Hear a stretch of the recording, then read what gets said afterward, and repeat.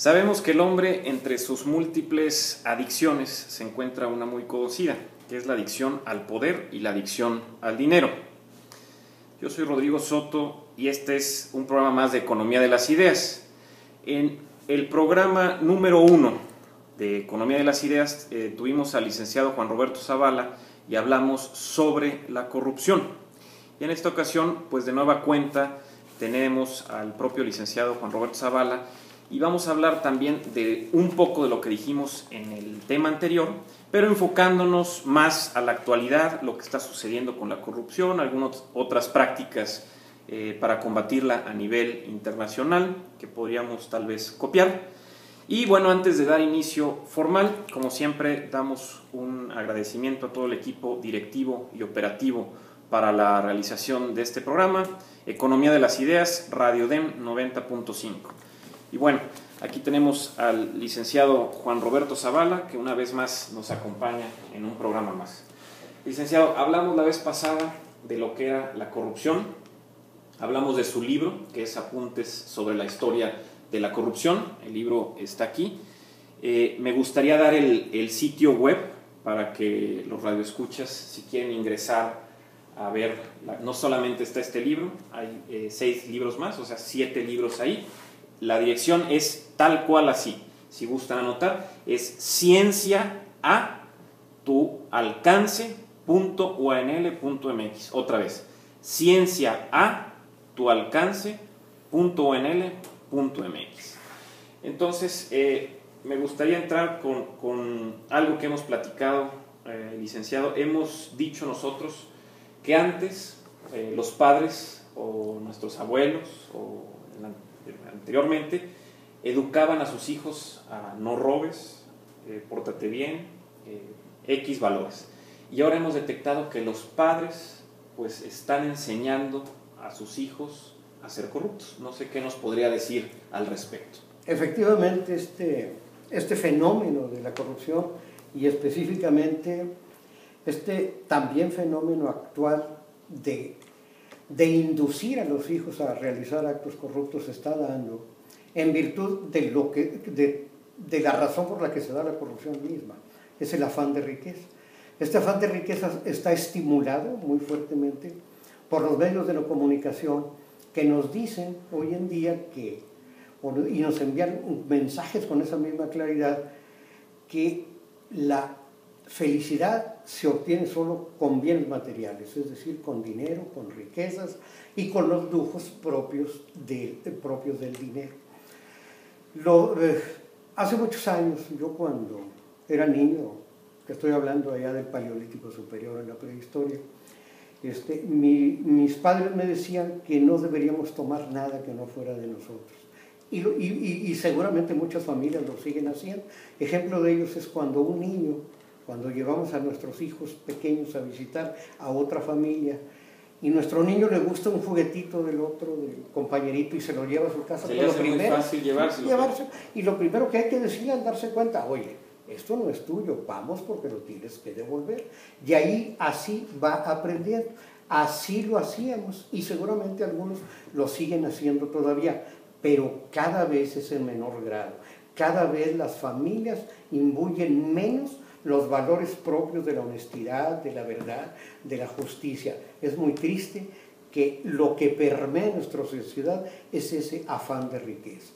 Por eso, ese afán de riqueza lleva al acto de corrupción, porque la corrupción es el apoderarse de bienes que no son de nosotros, válidos de que se tiene el, o del ejercicio del poder. Esta es la razón. Muy bien, pero entonces ahora, aparte de que no se inculcan esos valores, hemos eh, visto casos, o podemos decir que se está permeando el de enseñar a los hijos a ser corruptos. Es decir, bueno, hay que hacer estas facturas, hay que hacer este negocio, inventar una empresa, X o Y, pero padres ya llevando de la mano, no solo a decir, no robes, no, ahora es roba y roba de esta forma y la mejor forma de cuál es esta, esta. Como a lo mejor el, el eh, depredador enseña a su hijo a cazar pues a la presa, ahora se enseña el padre cómo debe de corromper o cómo debe de ser corrupto en esta sociedad. Así es. Es muy triste y, todos conocemos casos diariamente de funcionarios o de personajes de la iniciativa privada que que en sus empresas, pero se da más fuertemente en el sector público que suceda esto. Pero todos conocemos a funcionarios que les dicen a sus hijos, oye, no vayas a gastar en eso, tú sácalo, de, sácalo del erario, sácalo de la oficina en la que estoy. Y entonces le dicen a su secretaria, bueno, pues entrégale, eh, por ejemplo, vales de gasolina. Es muy fácil decirle hijo, hijo, no vayas a gastar gasolina tuya de nosotros, ¿cómo vas a hacer eso? Seas tonto, sácalo de la empresa.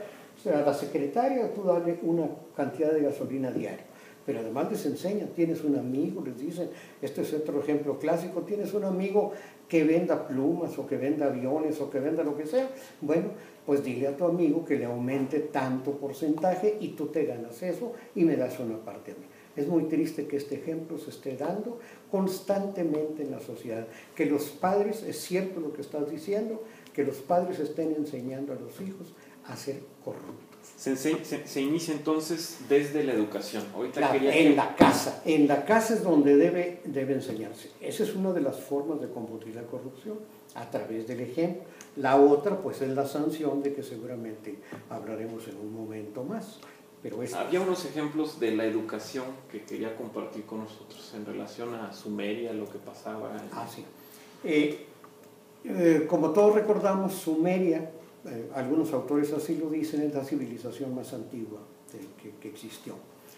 En ella ya, ya había escuelas. Sí. No unas escuelas exactamente como las actuales, pero sí eran escuelas con edificios a donde diariamente asistían los alumnos. En estas escuelas eran escuelas para escribas específicamente, porque en ese tiempo la actividad más importante que querían los padres que realizaran sus hijos era que llegaran a ser escribas. Los hijos de los funcionarios, los hijos de los grandes comerciantes, de los militares, de los sacerdotes, querían que sus hijos fueran escribas. Los escribas se dedicaban a eso, a escribir precisamente en las tablillas, que ya son famosas, se han descubierto miles y miles de tablillas, en las que los escribas relataban la vida diaria de los sumerios. Eh, no solamente relataban la vida diaria, sino que llevaban crónicas históricas de lo que estaba sucediendo en, Sumeria, pero además también se hacían listas de las personas que trabajaban, listas del dinero que se les pagaba a los trabajadores, una serie de cosas se, se plasmaban en esas tablillas. Entonces era muy importante en esa sociedad el ser un escriba. A esas escuelas, en esas escuelas iban diariamente. Muy bien. Existe un, un, relato escrito que por eso creemos que es el primer relato escrito en el mundo de un acto de corrupción que se da 3.000 años antes de Cristo, en donde un alumno de esta escuela llega a su casa, le platica a los padres que el maestro le ha dado unos barazos y latigazos muy fuertes. Entonces era común. Eh, y existía en cada salón de clase, existía un látigo, puesto, colocado un látigo y una vara donde el maestro en cualquier disturbio que hubiera, inmediatamente golpeaba a los alumnos o porque no cumplían las tareas. Llega y les dice, me golpeó muy fuertemente el maestro, me varió, muy fuertemente, y entonces yo les pido que ustedes lo inviten, les dice a sus padres, pues que lo inviten aquí a la casa a ver si ya, ya no, no me golpea. Los padres lo invitan, lo, inviten, lo, lo, invitan a cenar, lo sientan en la mesa, en el, en, el parte de honor, en la cabecera de la mesa, que ese era el honor más importante entonces en Sumeria. Le regalan un traje, que era una especie de caftano de bata, un anillo, y le sirven las mejores viandas y los mejores vinos. Al término de la cena, el maestro, al fin maestro, toma la palabra y le agradece a los padres de familia la invitación de esas ricas viandas y los, y los excelentes vinos que, que, me han ofrecido, así como el anillo, todo lo que me han regalado. Y entonces dice, y a ti fulano, al alumno, te quiero decir que has sido un excelente alumno, nunca has faltado, nunca has dejado de cumplir con tus deberes, esa era la razón por la que había estado, lo habían estado latigando y, y. Bueno, y entonces ahora te auguro que vas a ser un hombre de por tanto, este, 3.000 años antes de Cristo, es el primer relato de corrupción. escrito de corrupción. ¿Cómo cambia la perspectiva del maestro después del traje, la comida y todo? Ahora, ¿qué otros ejemplos? Hablábamos también de otros ejemplos en piratería, hablábamos otros ejemplos este, por ahí que tenía usted en la parte histórica también. Sí, en la Edad Media, esto es muy importante, en la Edad Media, y, antes de, platicar del caso hay que recordar que el propio Dante Alighieri en su famosa Divina Comedia sitúa el reino de Ultratumba, lo divide en nueve círculos y de acuerdo a cada uno de los círculos lo más... los de la delincuencia, los, los más profundos eran los peores, los peores delitos. Muy bien. Colocados en el octavo círculo, uno de los más fuertes castigos, en, en una embrea hirviente, en un, en un cacerola de hirviente, se encontraban los funcionarios, se encontraban los políticos, porque dice el, el Dante que ahí estaban colocados en virtud precisamente de que ellos sí tenían conocimiento, de que ellos tenían inteligencia, de que sabían lo que estaban haciendo, y por un tanto el castigo debería ser fuerte. Muy bien, en esa misma época, por eso, en, durante la Edad Media, se acostumbraba en algunas ciudades de Italia que a los deudores que no pagaban lo que, las deudas que habían adquirido, los acreedores les pagaban a personajes que vestidos de rojo, existían esos personajes que vestidos todos de rojo acompañaban siempre al deudor que no pagaba. Y entonces pues era, con esto se le estaba señalando socialmente. Previniendo. Y todo mundo sabía que no estaba pagando. Esto obligaba y hacía que les pagaran. Esta es una forma de castigo de la corrupción. O que no hicieran negocios con esa persona, decían, cuidado, esta persona no paga, no es de fiar, y por eso iba esa persona de rojo advirtiendo al resto de la población. Volveremos a este ejemplo para hacer una propuesta al final, que también hemos hablado, pero quisiera que continuáramos con los ejemplos este, históricos, o sea, la Edad Media, el octavo círculo de Dante Alighieri. de ahí deberíamos seguir con la piratería que ahorita mencionamos. Esto es muy importante. Eh, durante el reinado de, Enrique VIII se empezó a permitir la piratería dándole el nombre de bucaneros en lugar de piratas. Y entonces se les daba una llamada famoso patente de corso que daba el rey inglés, permitiendo que se armaran buques y que con una bandera pirata salieran a los mares a atacar a naves indefensas. Hacían muy especialmente en contra de las naves españolas, porque iban hacia el, de, España, iban hacia el Nuevo Mundo, hacia América, o regresaban, sobre todo las que regresaban, cargadas de oro y plata, especialmente de plata, que también ellos habían sacado los españoles de allá. Pero ya nos imaginaremos el pavor de los, de los viajeros, de quienes iban en los buques, de las familias que iban en los buques, cuando en alta mar, a cualquier, en cualquier momento, llegaban los piratas y a esos buques indefensos los atacaban, los abordaban y, y, secuestraban a los que sabían, a los que detectaban que gente que era de mucho dinero, los secuestraban para pedir rescate por ellos y se los llevaban. Pero además, desde ese entonces eh, había los secuestros. Los secuestros sí y se llevaban las riquezas, grandes riquezas. Durante muchos años lo estuvieron haciendo y la, corona inglesa, con la, la corona inglesa les daba el famoso patente de corso para eso. Pero llegó a tal extremo la corrupción que durante el reinado de, durante el reinado de Isabel I, ella invitaba ya directamente a nobles para que hicieran una especie de sociedad y decía, la corona pone el 20 o el 30%, este, tal noble el otro día, tal, tal, contaba varios, y entonces armaban 5, 10 o 8 buques para que salieran a, la mar a atacar a los, a los buques. Llegó un momento en que los españoles eh, se dieron cuenta de que ya tenía mucho tiempo, esto un par de años, tres años, cinco años que los estaban atacando y les estaban robando todo eso, y entonces establecieron que todo buque que saliera de España hacia América y de América hacia España no podía salir solo, no, tenían que salir en, cuerdas de 5, 7 o 8 buques, iban escoltados por, eh, por buques armados. Con esto se evitó el problema. Estos, eh, estos bucaneros, como les llaman en Inglaterra, que, que, por cierto algunos de ellos han sido declarados novios, como es el caso de Sir Francis Drake, que fue uno, uno de es famoso por dos cosas. Primero, porque una, en alguna ocasión circunvalló eh, con su nave la Tierra, pero, pero lo otro porque fue el que obtuvo el, el mayor botín de la historia, a dos o tres eh, buques españoles indefensos, por eso es famoso. Y estos le llamaban, le llamaban bucaneros. Bueno, pues a estos los, los nombraban Sir, los llamaban Lores, los llamaban Pares. Es decir, les daban títulos nobiliarios como una recompensa, como un honor por ser, por ser piratas. esto, Es un, esto, es, esto es algo increíble. Todas esas, todas esas personas, esos que llaman bucaneros, esos piratas, al ver que ya no podían atacar a los buques españoles porque iban escoltados, entonces se dedicaron a esclavizar. Es decir, iban a eso. Iban ya se, iban hacia África, esclavizaban a gente, se los traían en los barcos a venderlos a América. Y todos sabemos que precisamente fueron ingleses, apoyados por, por portugueses también y por holandeses, fueron los que trajeron a la mayor población negra hacia América tanto a los Estados Unidos como a Brasil y aún aquí al propio México. Este, hay un relato muy importante de Francis Drake, porque es muy famoso, le, rinden pleitesía a los ingleses.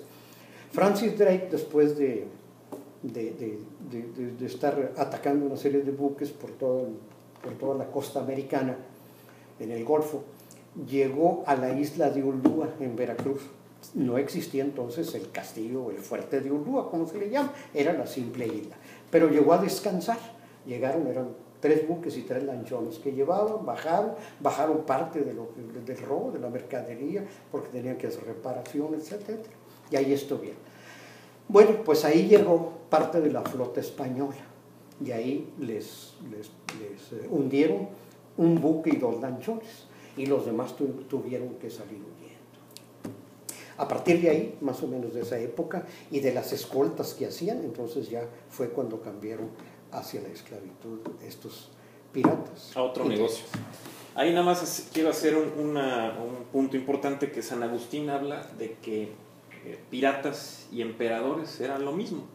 Hay un relato que él cuenta que cierto emperador tomó prisionero a un pirata y le dijo, bueno, te voy a juzgar por tus actos de piratería y robo y todo dijo, bueno, pero ¿por qué vas a juzgar si tú haces lo mismo? Yo nada más asalto un barco mientras tú asaltas a todo el mundo entero, ¿no? Entonces ahí se ve que con la venia de la corona, pues estaban ahí en contubernio para recibir todos estos actos de corrupción de todo lo que sacaba.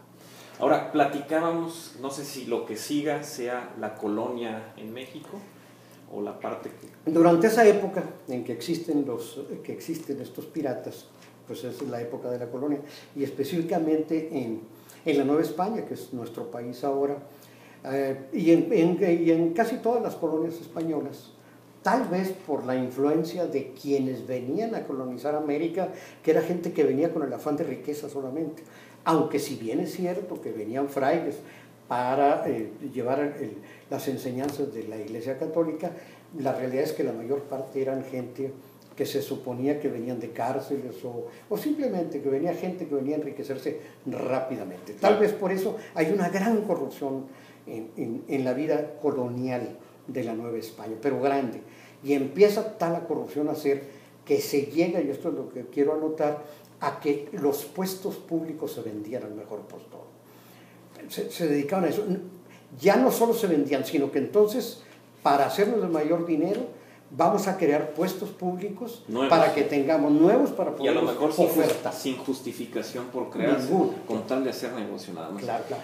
alguien dice que tal vez de esto precisamente son las raíces de la gran corrupción que existe en nuestro país verdad que está imbuido de alguna manera en nuestra cultura de hacer todo de manera incorrecta. Bueno cuántas veces no vemos que directa o indirectamente si cierto jefe le da empleo a alguien un subordinado pues siempre le manda señales de que pues gracias a mí tú estás ahí y de cierta manera me tienes que rendir algo de tributo por el puesto que tienes. Y si no, no lo tienes por tus capacidades o por tu desempeño o tu buen trabajo, lo tienes gracias a mí.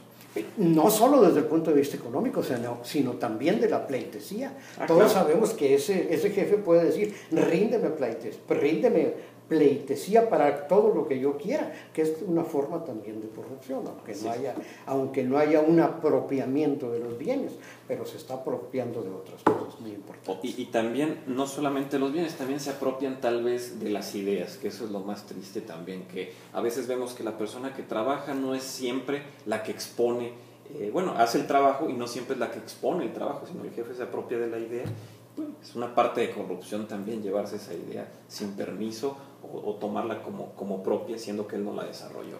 Hay algo muy triste que, que, vale la pena que lo mencionamos, porque seguramente nuestro lector es gente que entiende, es gente culta. Claro.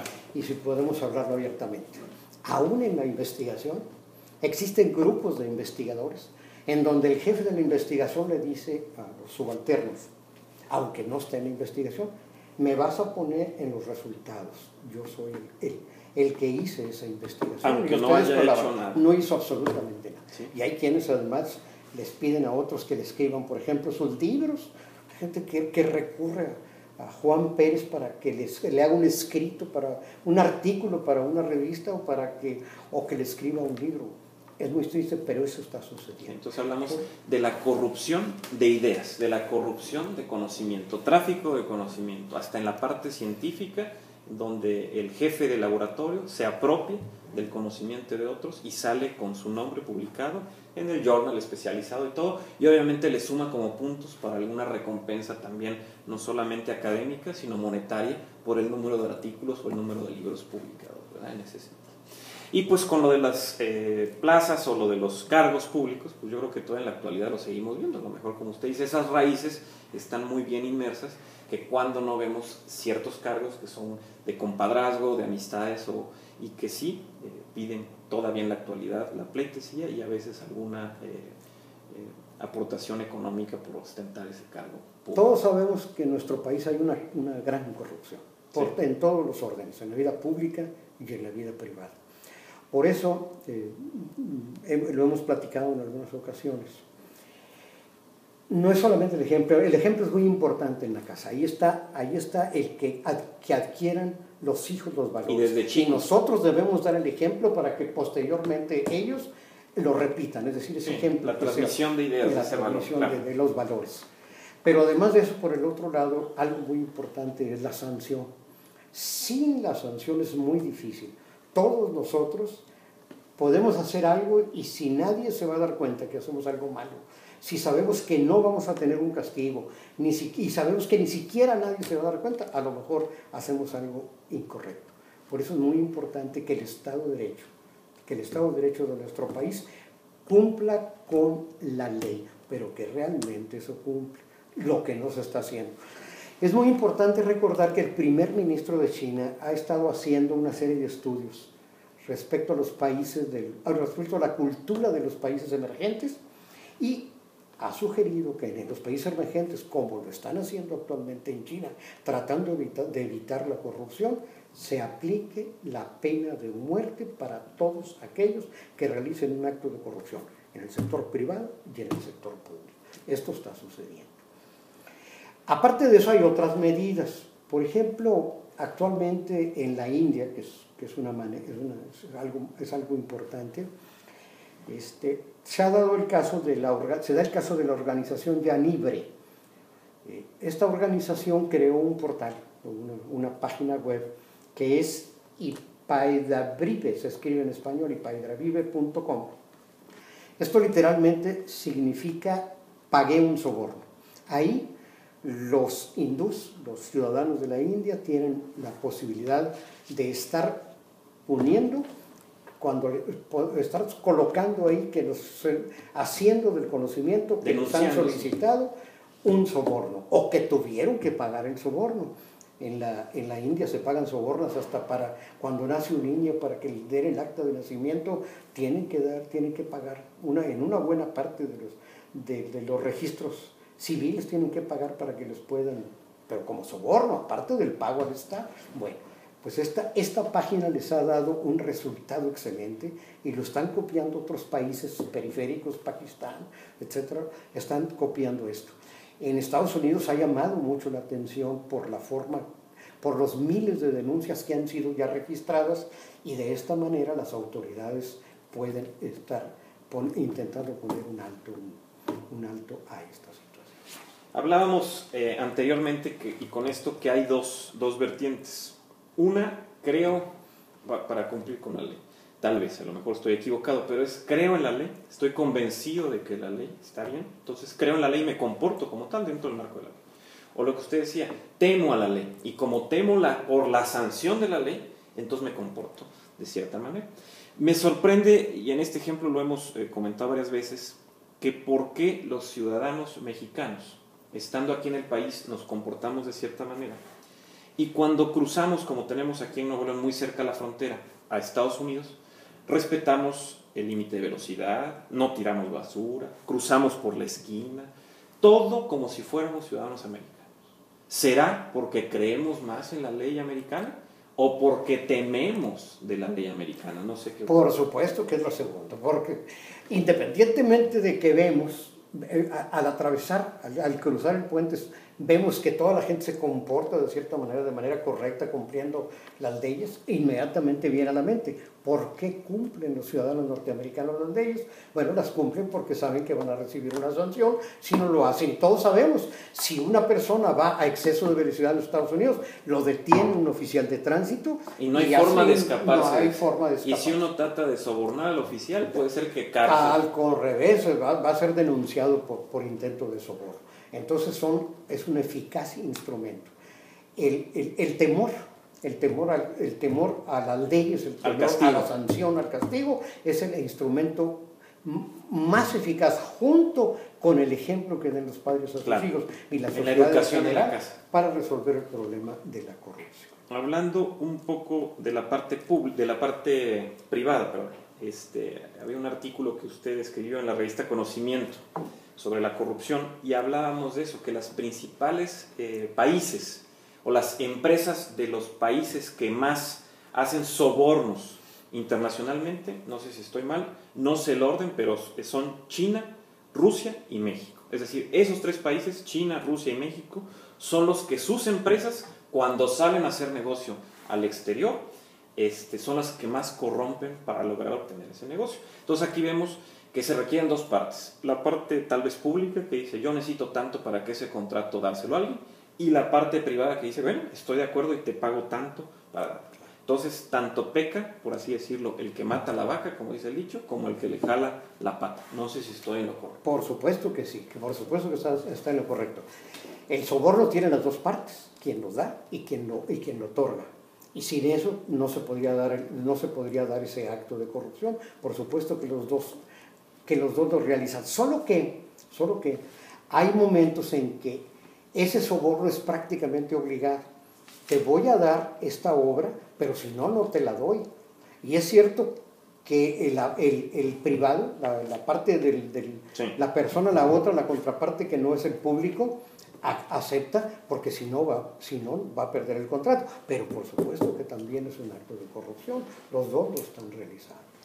Quiero volver a retomar porque ya estamos sobre tiempo, nos faltan unos tres minutitos más o menos, cuatro el ejemplo de, la parte de Italia en la Edad Media. Entonces, recordemos a los escuchas qué es lo que pasaba. Se tenía una persona, no sé si estoy correcto, que no pagaba, no era un buen pagador, y entonces los empresarios pagaban para que una persona vestida de rojo acompañase en todo momento, en todo lugar, a ese no buen pagador o a ese mal pagador, en forma de advertirles a los demás y, de denunciarlo públicamente, de que no hicieran negocios con él, porque no pagaba o así obligarlo tal vez a pagar. Entonces, una propuesta que ya habíamos discutido, y no sé qué le parezca, con la ubicuidad de las redes sociales y todo, es si a lo mejor no estamos todavía tan satisfechos, o a pesar de que estemos satisfechos con el castigo que pueda ser económico o legal para cierto personaje corrupto, pues ¿por qué no socialmente pues atacarlo, o bueno, exponerlo más bien en las redes sociales como una persona corrupta y advertirle a toda la sociedad para que no se nos olvide que X o Y persona es una persona corrupta, es una persona no de fiar. Es hacerlo como una especie de, ostracismo social, una afrenta pública a ese individuo que no, eh, eh, bueno, que no se comporta dentro del marco de la ley, hablando de la corrupción. No sé qué le parece. Es, es excelente esa idea que, que ya habíamos comentado tenemos el instrumento con el que podemos hacer. Por buena suerte existe ahorita el, el, Internet y existen las, redes sociales. Y entonces ahí se puede. Aquello que se hizo en Italia puede ser ahora llevado a la red social. No tan solo con la página como en la India, que, que efectivamente está una página donde se puede hacer denuncia, sino directamente cada ciudadano puede poner en las redes. Puede, sí, no olvidemos que fulano es que fulano hizo esto y esto, y que además todos los que estén en la red, en aquellos en la red, Lo inmediatamente y lo vayan a, lo señalen. Y lo identifiquen Claro, para que claro. sepamos que es la persona que no se comportó. Y a ver, a ver si así, o a ver si así, con esa vergüenza, pues toma conciencia del acto que hizo. Estamos ya casi sobre tiempo, licenciado. No sé si hay algo más que haya que agregar. No, pues agradecer y, y- y ya el licenciado Rodrigo Soto ya nos hizo el favor de, de dar el, la página en donde pueden eh, ser consultados los siete libros de la colección Ciencia a tu alcance que recientemente ha publicado la Universidad de Nuevo León como divulgación de la ciencia. Pues muy bien, le agradecemos, licenciado. Este, esto fue un programa más de Economía de las Ideas. Les recordamos que todas estas charlas las pueden ver en el sitio web economiadelasideas.mx y también otra vez para consultar los libros que hablamos aquí, como este de corrupción, es Muchas gracias y nos vemos en la siguiente.